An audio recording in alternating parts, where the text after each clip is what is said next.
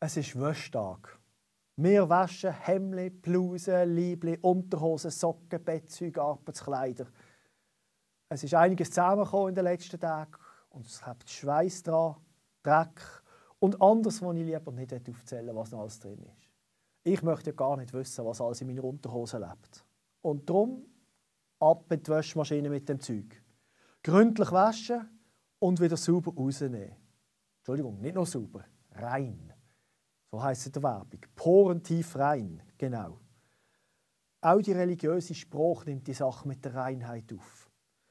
Vor allem in der katholischen Glaubenswelt spielt das eine große Rolle. Maria gilt als die reine Gottesmutter. Als Mensch rein und sauber bleiben. Ich habe ehrlich gesagt mit dem Gedanken immer ein bisschen Mühe gehabt. Und zwar vor allem darum, weil sich die Sache mit der Reinheit immer auf den Sex konzentriert hat. Man denkt, so kein Sex haben, das gilt als besonders rein, hingegen miteinander ins Bett gehen, ui. Und mit dem Gedanken konnte ich mich nie anfreunden und darum habe ich eigentlich über das gar nie reden. Aber jetzt habe ich ein Lied gehört, das mich zum Umdenken bewegt hat.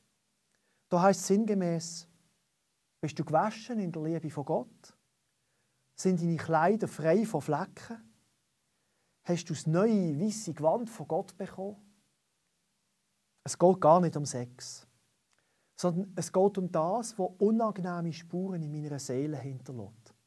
Und das ist ja eigentlich ein lustiger Gedanke. So. Wenn ich mir vorstelle, ich könnte meine Seele so rausnehmen, sie zu dreckigen Wäsche tun und dann wird sie gewaschen, glättet, parfümiert und ich kriege sie zurück. Völlig fleckenfrei. Gar kein so schlechter Gedanke. Denn auch an der Seele bleibt ein Haufen Zeug kleben. Ein Streit, eine Angst, eine Enttäuschung, ein Missverständnis, ein giftgeiler Neid, ein rauchender Zorn. Die Seele nimmt ein Haufen Zeug mit aus dem Leben. Die muss gepflegt werden. Sonst wird sie ganz starr vor Dreck. Und darum macht es Sinn, über die Reinheit nachzudenken. Ich kann meine Seele nicht einfach so zur Wäsche legen wie das Hemd. Aber ich kann als ganze Person zu Jesus Christus kommen. Jesus kann mit Flecken umgehen. Und das Beste ist, er geht mit meiner Dreckwäsche nicht gerade zu den Nachbarn und zeigt ihnen es. Ich finde das verheißungsvoll. Ja, ich möchte so rein sein wie ein Kind. Es geht darum, dass ich unbeschwert leben kann von all dem alten Mist. Dass ich wieder staunen kann, lernen, mich freuen, lachen und wie ein Kind einen Neuanfang machen. Ich weiß nicht, was du heute vorhast. Ich wünsche dir einen guten Wäschtag.